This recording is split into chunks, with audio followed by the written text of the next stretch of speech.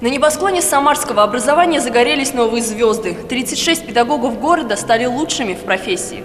Один из лидеров образования – Рафаэль Файрушин. Он уже 4 года работает учителем физики. Говорит, еще в детстве решил, что продолжит династию педагогов. И пока другие дети через заборы лазили, он помогал родителям проверять тетрадки. Рафаэль постоянно в поисках новых педагогических технологий и методов образования. Сегодня он стал лучшим учителем года на городском этапе конкурса профессионального мастерства.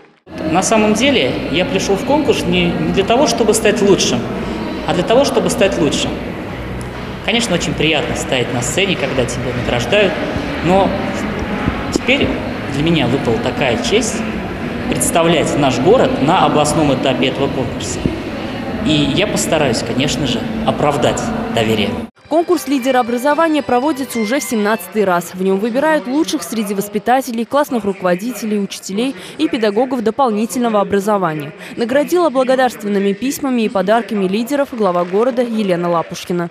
Я считаю, что человек, который занимается преподаванием, занимается воспитанием, и сам должен быть всегда в процессе образования, саморазвития.